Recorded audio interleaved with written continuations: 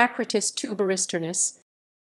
Acritus tuberisternus is a species of clown beetle found in Indo-Pacific regional countries such as Japan, Mauritius, Sri Lanka, India, Myanmar, Vietnam, Laos, Malaysia, Taiwan. Equals equals References equals equals equals